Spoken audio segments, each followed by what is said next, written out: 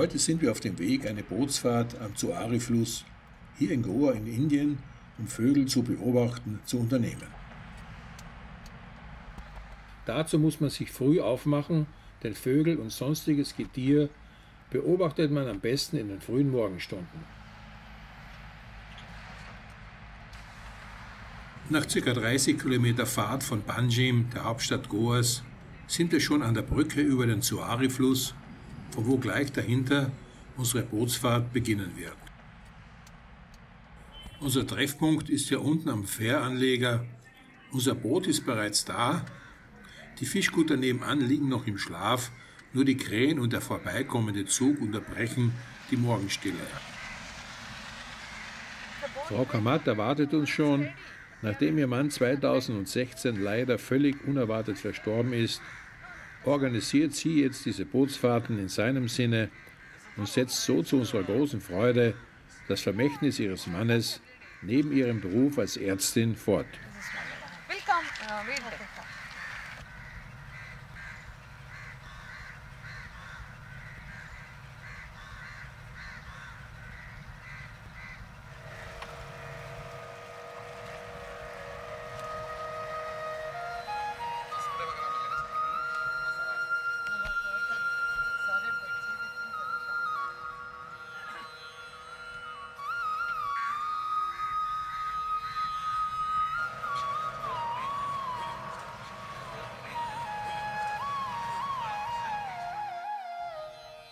Während der Wintermonate findet man den großen weißen Reiher hier an den Flussufern in großer Anzahl.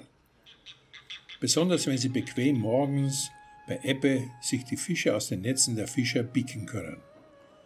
Aber so frech, wie sie sich bei Gelegenheit ernähren, so scheu sind sie auch. Kommt man näher als 30 Meter, flüchten sie.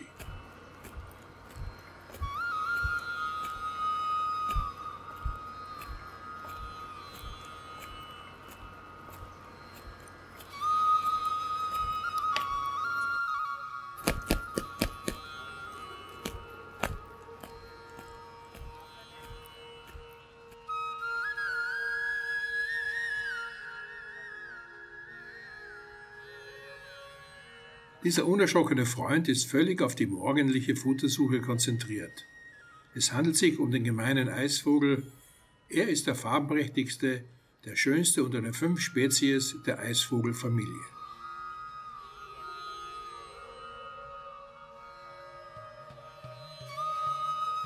Hier sehen wir einen indischen Teichreiher in Aktion, wie er gerade akrobatisch nach einem vermeintlichen Fisch schnappt aber leider scheint es nur ein Blatt zu sein.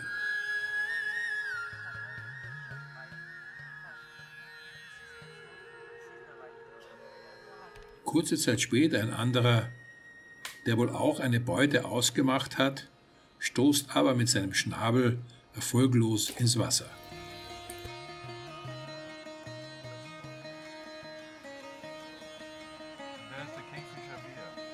Das hier ist ein Weißkelch-Eisvogel man findet ihn hier in Goa häufig. Er brütet früh im April bis Mitte Juli.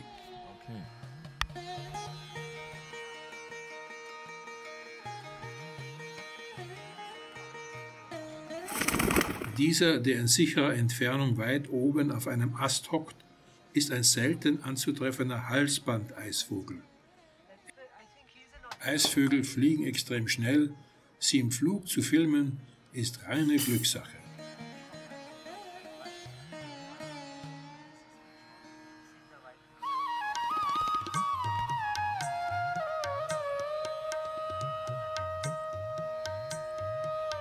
Dass ich diesen seltenen Schwarzkappen-Eisvogel außerdem noch in Zeitlupe beim Abflug filmen konnte, freut mich ganz besonders.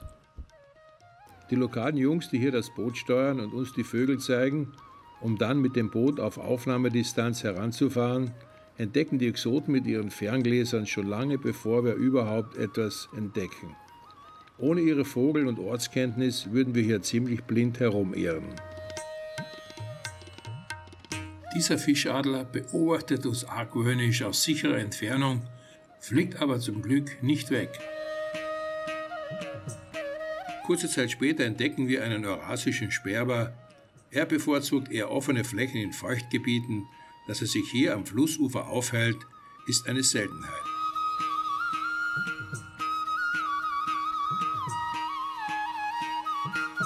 Unsere Begleiter sagen uns, dass wir uns nun im Kanal mit den Krokodilen befinden. Und da entdecken wir bereits welche, die sich in den Mangroben verstecken. Als ich vor Jahren diese Tour mit Herrn Kamat unternommen habe, war ich sehr überrascht, hier Krokodile zu sehen. Es sind aber Süßwasserkrokodile, die ernähren sich ausschließlich vom Fisch. Um die 50 Exemplare soll es in diesen Seitenarm des Zuare geben. Aber in anderen Bundesstaaten in Indien gibt es sehr wohl Flüsse mit gefährlichen Salzwasserkrokodilen. Man sagt, dass soweit sich hier die Fischer zurückerinnern können, noch nie ein Mensch zu Schaden gekommen sei. Trotzdem, ob ich zum Beispiel mit diesem ausgewachsenen Burschen hier ein gemeinsames Bad nehmen würde, also ich denke sicher nicht.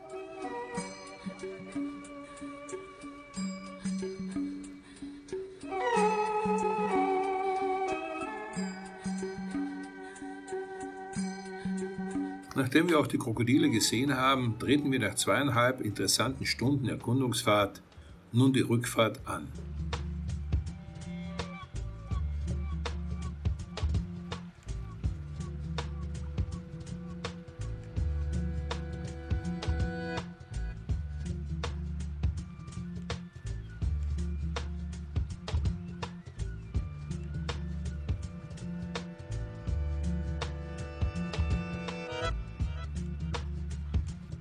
Mitten im Fluss entdecken wir auf einem Pfahl diesen Fischadler. Er verspeist gerade sein Frühstück und ich bin froh, dass er so lange sitzen geblieben ist, bis ich wenigstens einige Sekunden Film von ihm in der Kamera hatte.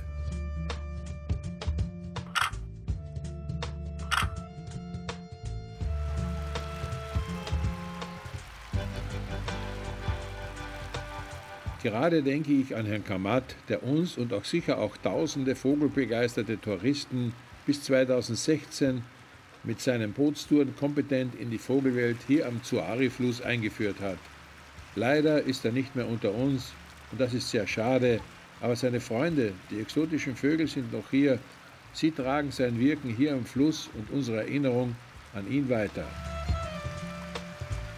Obwohl Goa nur etwa ein Drittel so groß wie Österreich ist, kann man hier wie nirgendwo in Indien je nach Jahreszeit auf 450 verschiedene Vögel treffen. Geschuldet ist das natürlich der besonderen Natur, den großen Wasserflächen, dem Naturschutz und dass die Bauern hier keinerlei Pestizide verwenden. Deshalb war es möglich, dass wir in so kurzer Zeit so viele interessante Vögel sehen konnten und hoffen und wünschen uns natürlich, dass dieses Vogelparadies noch sehr lange so erhalten bleibt.